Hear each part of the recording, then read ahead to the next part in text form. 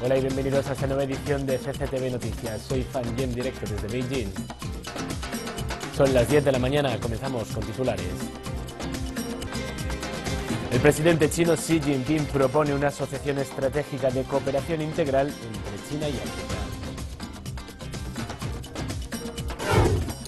La organización de primeras damas africanas mantiene su lucha contra el VIH-Sida.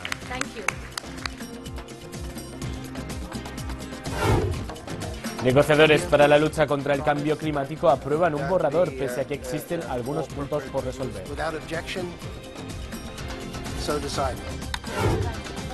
Turquía insta el diálogo con Rusia.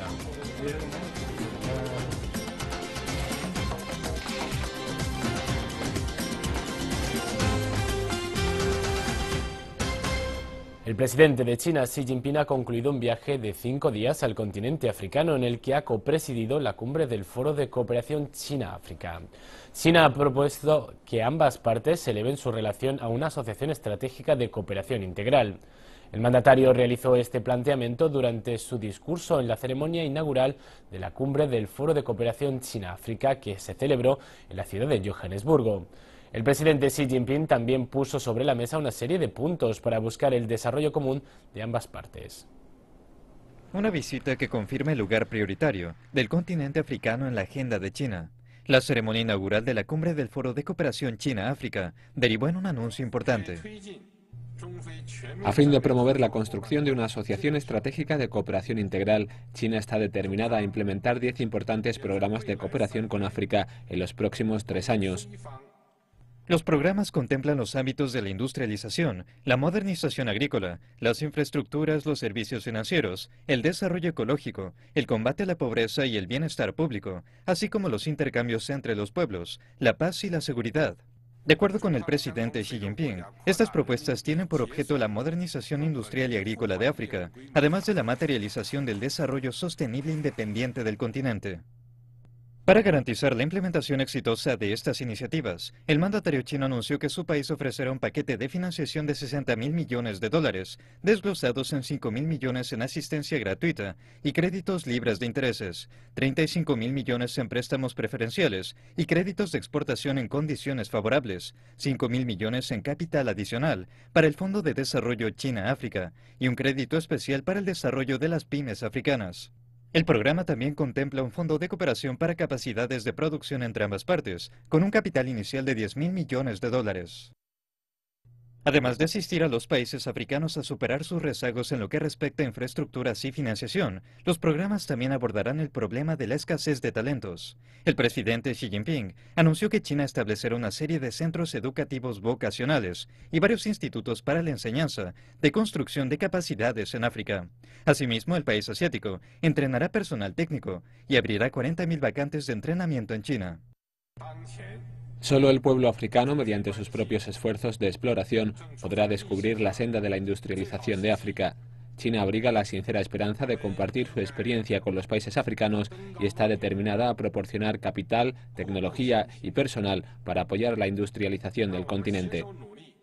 Al margen del encuentro, ambas partes también esbozaron planes concretos para estos propósitos. El presidente Xi Jinping destacó que la cooperación entre ambas partes se centrará en la construcción de infraestructuras, con el objetivo de fructificar en beneficios tangibles para los pueblos. El mandatario también señaló que la cooperación debe ser abierta e inclusiva y fundamentarse en la igualdad, además de enfocarse en la construcción de capacidades. China está preparada para compartir sin reservas sus avanzadas tecnologías con África y para combinar la competencia de sus industrias con las necesidades del continente africano a fin de profundizar la cooperación industrial. Esto favorecerá la calidad de la mano de obra de los países africanos, generará más puestos de trabajo y fortalecerá el desarrollo económico de África. China es el mayor socio comercial del continente africano y el volumen comercial entre ambas partes acumuló 220 mil millones de dólares el año pasado. Los expertos han pronosticado que los anuncios del presidente chino inaugurarán una nueva era para las relaciones bilaterales. CCTV en español. Y durante la cumbre del Foro de Cooperación China-África, el presidente chino Xi Jinping se reunió con 17 líderes africanos en Johannesburgo. Los líderes africanos aseguraron que su continente se ha visto beneficiado por la cooperación con el país asiático.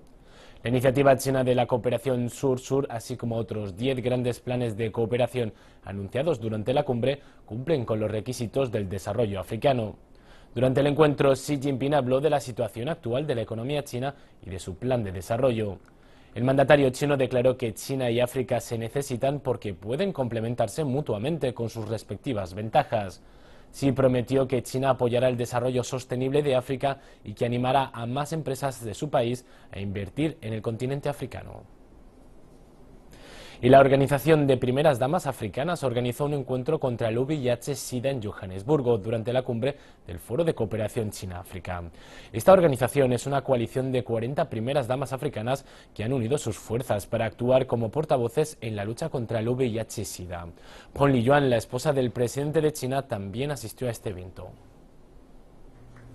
La Organización de Primeras Damas Africanas mantiene su compromiso de emplear su fuerza para mejorar la vida de las familias vulnerables a través de la movilización social. La esposa del presidente de China, Peng Liyuan, es embajadora de buena voluntad contra el VIH-Sida y la tuberculosis de la Organización Mundial de la Salud. Una de sus principales tareas es promover la cooperación entre China y otros países con respecto a la prevención y el control del VIH-Sida como parte de la lucha mundial contra esta enfermedad. China ofrecerá apoyo con fondos a los países africanos y apoyará a la ONU y a la Organización Mundial de la Salud en sus proyectos contra el SIDA en África. Apoyaremos la creación de infraestructuras y proyectos similares. Creo que si todos los países y la comunidad internacional trabajan juntos, la tasa cero de contagio del SIDA puede alcanzarse en el futuro. Trabajemos juntos para la salud pública de la humanidad, para crear un mundo libre de SIDA. El SIDA es una de las principales causas de muerte en África. Los africanos representan algo menos del 15% de la población mundial, pero suponen casi el 70% de quienes viven con VIH o SIDA. Penn señaló que China seguirá ofreciendo formación para el personal médico de África como antes y añadió que las organizaciones pertinentes deberían promover mejor la sensibilización sobre esta enfermedad, prestar más atención a la sanidad e incrementar la educación de los jóvenes. La directora general de la OMS, Margaret Chan, también asistió a este encuentro y elogió el trabajo de la Organización de Primeras Damas Africanas en la lucha contra el SIDA. Primeras Damas, déjenme agradecerles su objetivo compartido de lograr una generación libre de SIDA. Se trata de un objetivo muy ambicioso. Si se analizan los registros de éxito en muchos países africanos y también en China, en los últimos 5 o 10 años, la reducción de los fallecimientos entre mujeres y niños de todas las causas evitables es encomiable. Con esos registros, estoy muy segura de que con el apoyo de las primeras damas y de sus esposos es un objetivo alcanzable. El 1 de diciembre se celebró el 28 Día Mundial contra el SIDA. Naciones Unidas afirma que el mundo ha hecho avances significativos en el tratamiento y prevención del VIH-Sida desde el descubrimiento del virus en 1984.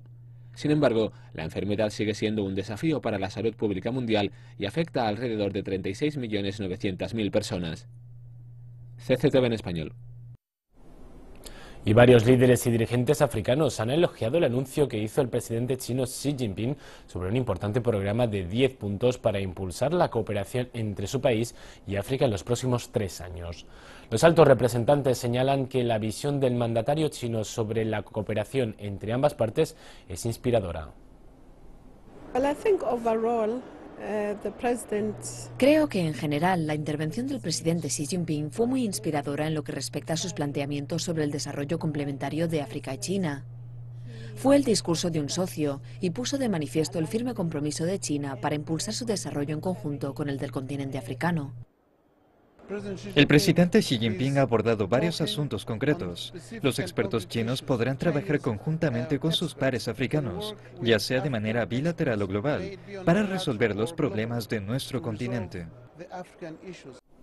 Y seguimos en África. Han pasado más de dos meses desde que entró en funcionamiento el primer tren ligero en Addis Abeba y se ha convertido ya en parte habitual del sistema de transportes de la capital de Etiopía. Vamos cómo, veamos cómo han cambiado las condiciones del tráfico y la propia ciudad. El tren ligero, aunque es un lujo, es utilizado por pasajeros de todos los niveles adquisitivos. Parece que sus usuarios se han acostumbrado a que vaya abarrotado. Bela que lo utiliza con frecuencia. Tengo que usar el tren ligero todos los días. A veces hay mucha gente, pero es puntual. Puedo llegar a tiempo a la oficina. La primera fase de este tren ligero consiste en dos líneas que se cruzan en el centro de la ciudad. Se han construido 40 estaciones a lo largo de ambas líneas. Con respecto al plan original, cuenta con menos pasos elevados para minimizar costes y marcha a una velocidad más lenta. Todos los trenes y otros elementos se han hecho en China, pero sigue siendo un gran reto para los locales trabajar con los nuevos equipos de una forma profesional. Cientos de conductores y técnicos del metro de Shenzhen están trabajando junto a sus homólogos etíopes. Las salas de formación están diseñadas con un estilo chino y los empleados de ambos países han comenzado a comprenderse mutuamente a pesar de la barrera del idioma. Ambas partes quieren finalizar la formación en tres o cuatro años y los técnicos etíopes se encargarán de todo el sistema de gestión. Algunos nuevos conceptos se están introduciendo tras la construcción del ferrocarril ligero. Los ingresos se crean a partir de la venta de billetes. No pagaremos su funcionamiento. Lo que pretendemos que hagan es que aprovechen el valor añadido del corredor y queremos sacar partido, porque el precio del terreno a lo largo del trazado ha aumentado exponencialmente y seguirá subiendo. Queremos sacar provecho. Cerramos aquí este bloque informativo. A continuación repasamos los titulares internacionales.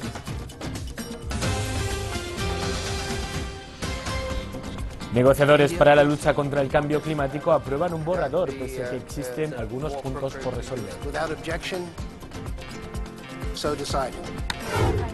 Turquía insta al diálogo con Rusia.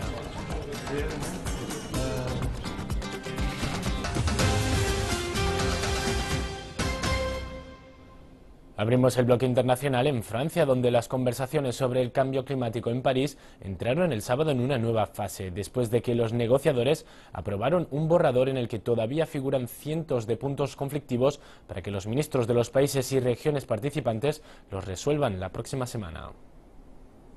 Altos funcionarios de casi 200 naciones han aprobado el borrador, minutos antes de la fecha límite de las 11 de la mañana después de trabajar toda la noche. La idea es que el texto presente opciones que van desde un objetivo a largo plazo para reducir el cambio climático hasta elevar el financiamiento para el clima para los países en desarrollo, que podrán ser resueltas por ministros la semana próxima en las conversaciones que continuarán hasta el viernes.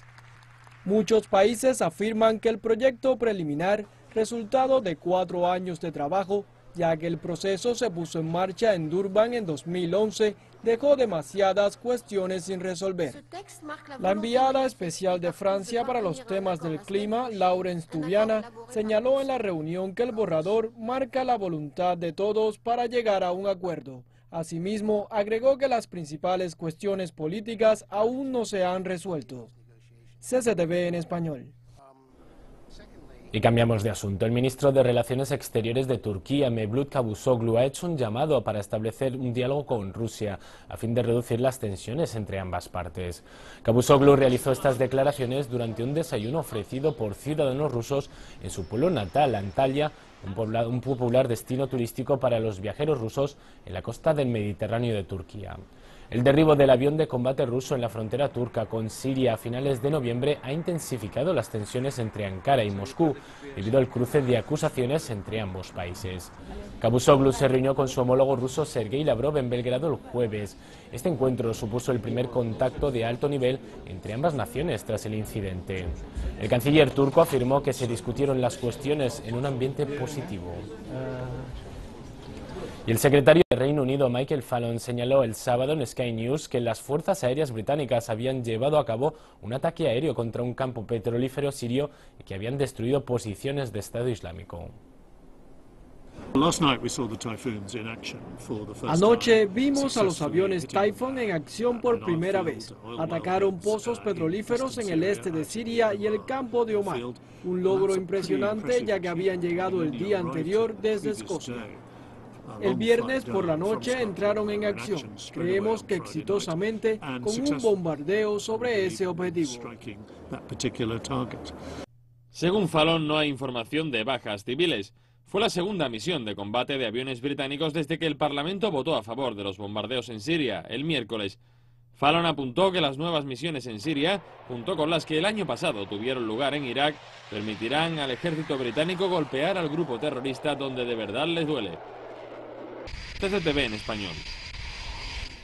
Y en Estados Unidos, el presidente Barack Obama señaló el sábado en su discurso semanal que, que, los investigadores determinarán todos los detalles del tiroteo en California que acabó con la vida de 14 personas. Obama pidió a los estadounidenses su unión tras el ataque. Es muy posible que estos dos atacantes estuvieran radicalizados y que fuera un acto de terror. Si es así, esto subrayaría una amenaza en la que llevamos años centrándonos, el peligro de que haya gente que sucumbe ideologías extremistas. Sabemos que Estado Islámico y otros grupos terroristas están instando a gente de todo el mundo y también en nuestro país a cometer actos terribles de violencia, a menudo como lobos solitarios.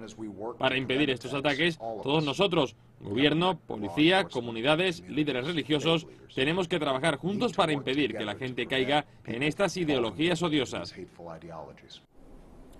Y en Asia, el viernes disminuyeron las lluvias persistentes que han estado afectando al sureño estado indio de Tamil Nadu durante tres días. Sin embargo, la miseria y la pobreza de decenas de miles de sus habitantes están muy lejos de llegar a su fin. Muchos residentes han permanecido varios días en los tejados de las casas.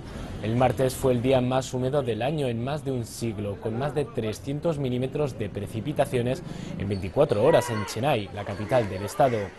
Decenas de hogares aún se encuentran sumergidos. Cientos de miembros del ejército, de la marina, del ejército, la marina, la policía y el cuerpo de bomberos están ayudando en las tareas de búsqueda y rescate de las personas atrapadas. El gobierno ha establecido 97 campamentos de ayuda para proveer de comida y refugio a aproximadamente 62.000 personas. Los funcionarios de India afirman que al menos 300 personas perdieron la vida en ese estado desde el comienzo de las fuertes lluvias a principios de noviembre. Ponemos punto final al bloque internacional. A continuación repasamos los titulares culturales.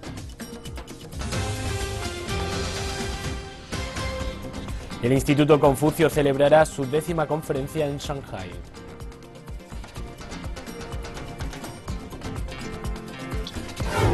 La capital británica se toma el pulso anímico a través de Instagram.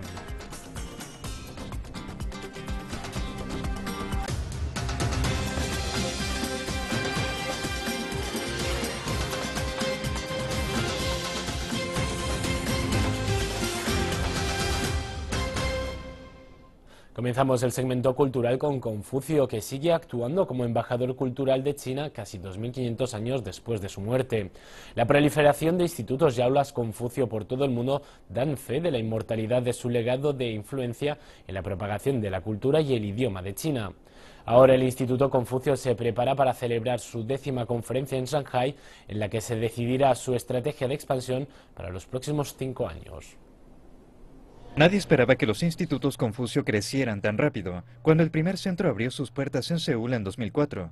Desde entonces, China ha abierto otros 500 institutos en todo el mundo, así como mil aulas Confucio en escuelas de primaria y secundaria de todo el globo. Algunos estudiantes extranjeros residentes en Shanghai señalan que su interés por China comenzó con los institutos Confucio.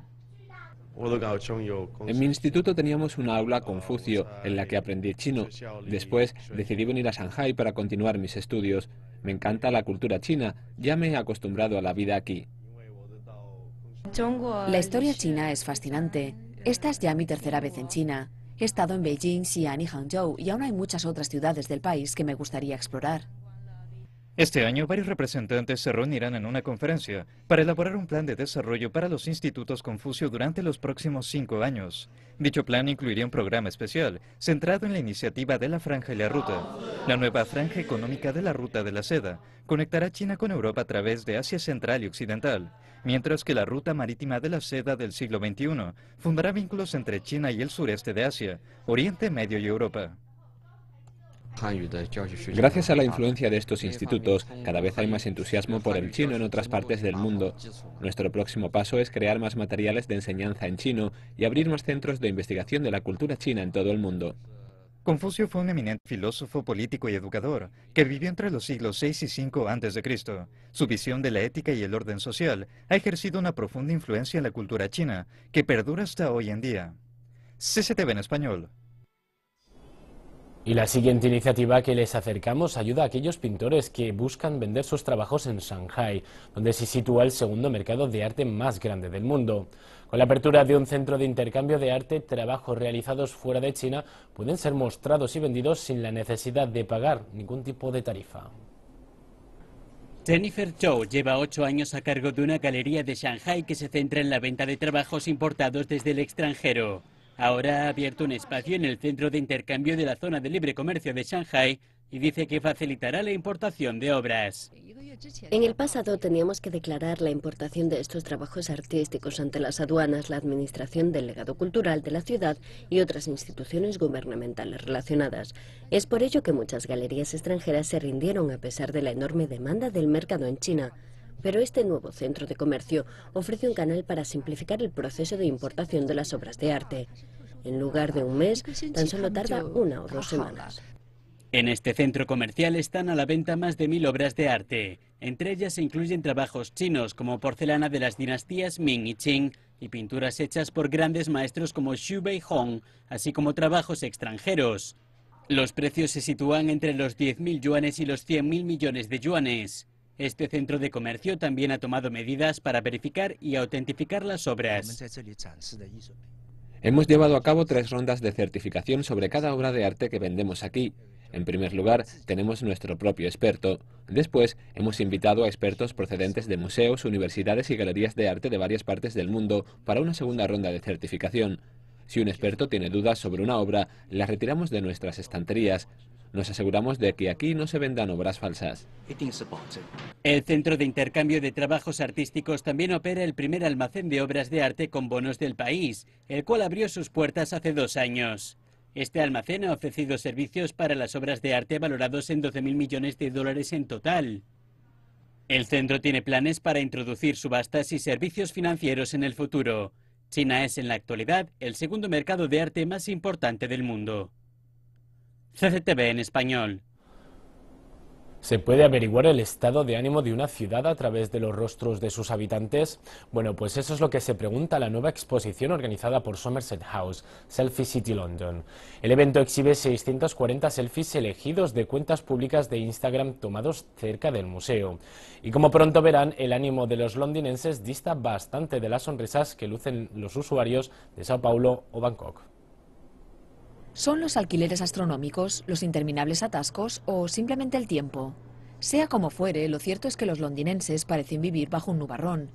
Tal como el investigador de Selfie City, Maurice Stefaner, observó, sus expresiones distan mucho de la soleada disposición de los selfies tomados en Sao Paulo.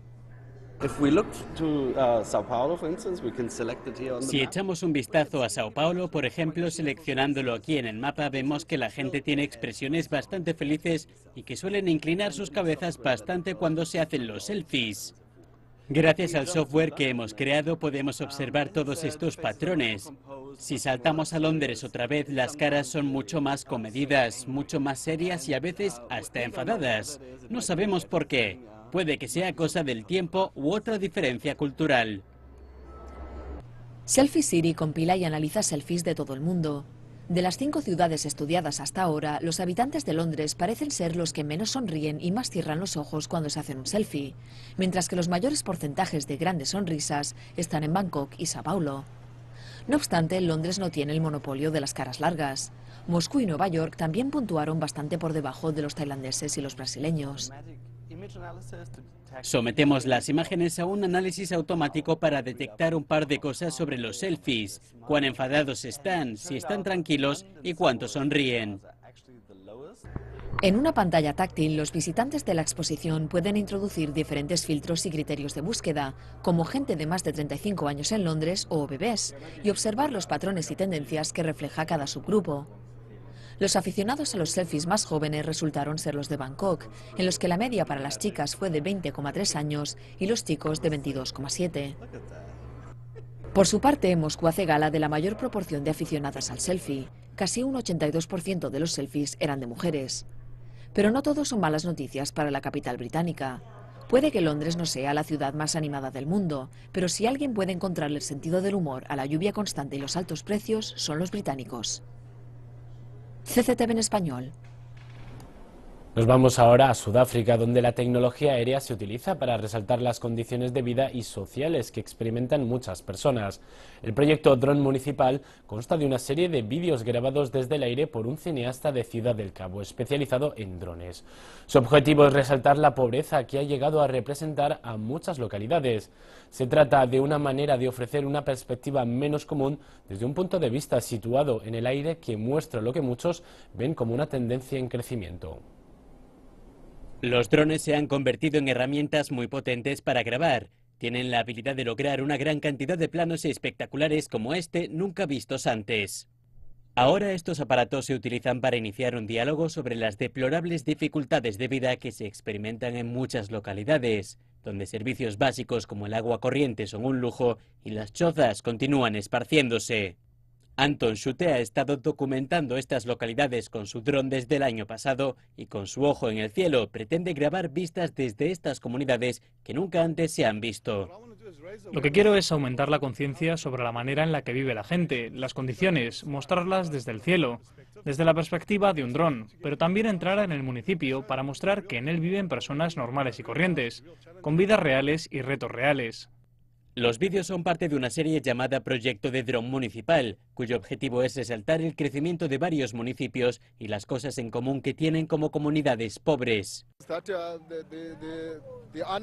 Espero que el dron muestre el desempleo en la comunidad, que la gente está viviendo por debajo del límite de la pobreza, porque el área en la que estamos no está desarrollada.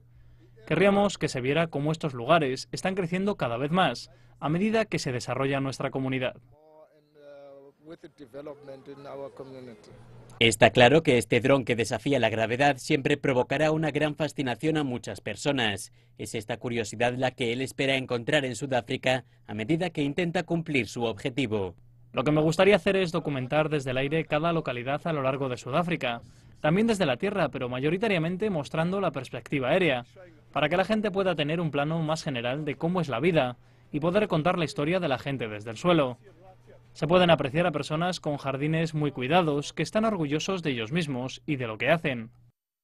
Sin embargo, por ahora, esta perspectiva aérea tan inusual será el comienzo de un insólito viaje por los cielos para que la gente de todo el mundo pueda comprobar lo que todavía es una realidad para muchos surafricanos. CCTV en español. Y con esta iniciativa sudafricana ponemos punto y final a esta edición de CCTV Noticias. En nombre de todo el equipo les agradecemos su confianza y les invitamos a seguir disfrutando de nuestra programación. Hasta la próxima.